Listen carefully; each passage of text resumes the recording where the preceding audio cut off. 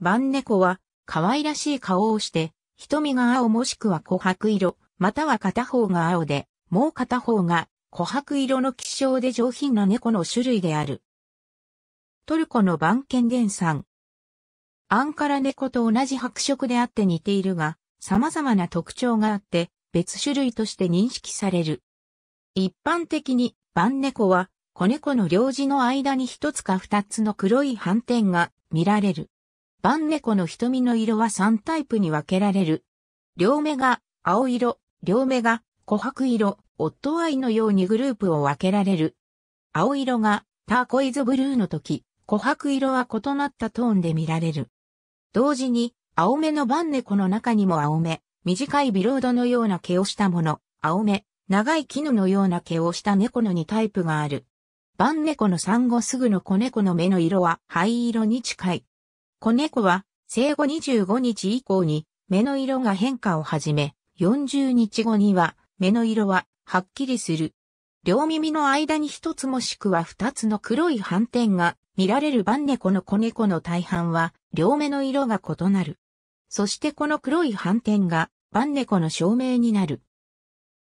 番猫のように両目で色が異なる犬、鳩や人間が見られる。この特色は遺伝子的な血管だと知られている。この特徴が最も見られる動物が、バンネコである。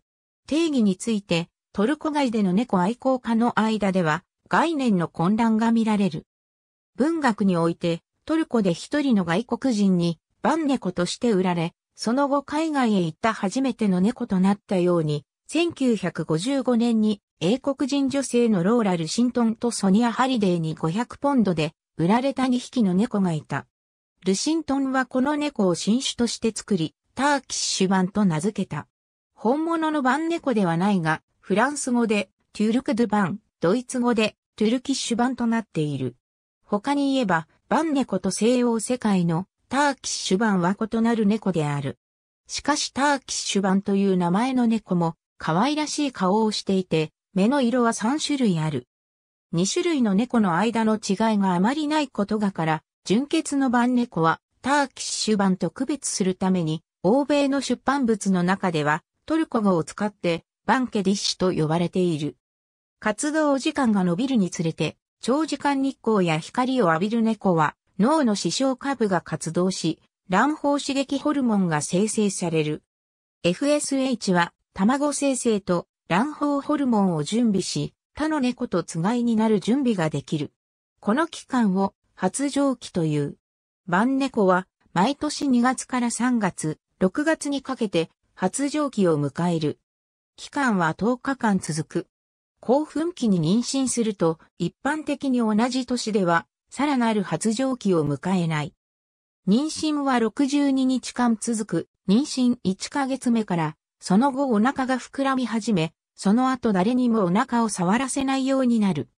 パートナーを欲するのは妊娠期に特に多い。晩猫は他の猫と同様に人目を避け始め、静かな暗い場所を探し始める。出産後すぐにへその緒を母猫が噛み切る。母猫は子猫を50日間から60日間授乳する。この期間は前後する。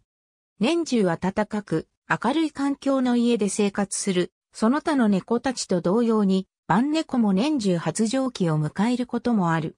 アンカラ動物園で繁殖されており、バンユズンジュユル大学にも、バン猫研究繁殖センターがある。猫には珍しく、水遊びが好きで泳ぎが得意である。トルコの生きた文化遺産との呼び声がある。トルコを開催の地とする2010年のバスケットボールの世界選手権大会の際、大会を象徴するいわゆるマスコットとしての選定を受けることにもなった。ありがとうございます。